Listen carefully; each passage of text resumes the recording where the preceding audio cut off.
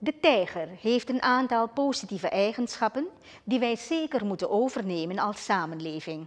Dit zei president Chandrika Persat Santokhi in zijn boodschap in verband met het Chinees nieuwjaar. Chinezen over de gehele wereld zijn vandaag in het jaar van de tijger gestapt. Volgens het staatshoofd zorgt de COVID-19-pandemie voor een aangepaste viering van dit lentefeest. Het Chinees nieuwjaar, dat ook bekend staat als het Lentefestival of Lentefeest, is de belangrijkste feestdag van de Chinezen.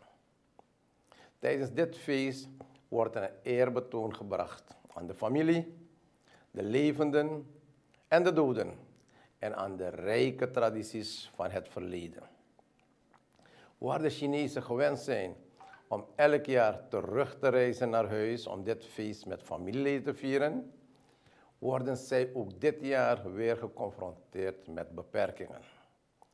De COVID-19-pandemie blijft ons raken. Maar gelukkig kunnen we dit jaar wel iets vrijer zijn dan vorig jaar. Dit omdat we ons goed hebben laten vaccineren, inclusief boosters. En inmiddels het dragen van het mondkapje het nieuwe normaal geworden is.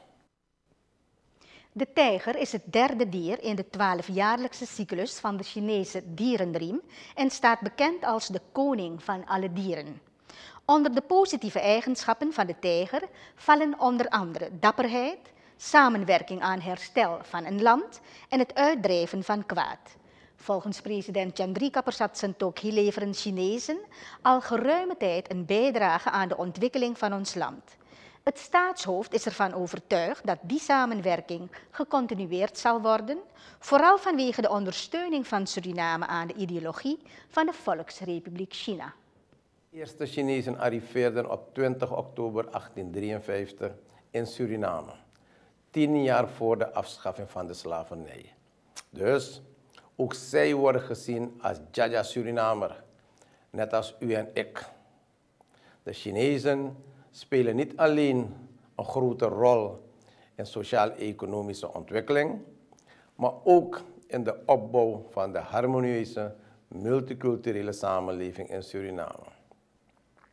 En net als van alle andere bevolkingsgroepen genieten we ook van de Chinese cultuur, het eten en hun vriendschap. Met hun land van afkomst, de Volksrepubliek China, heeft Suriname dan ook een historische band en een lange vriendschap die heeft geleid tot goede bilaterale samenwerkingen. Suriname houdt daarom vast aan de één China-beleid en deze blijven we ondersteunen.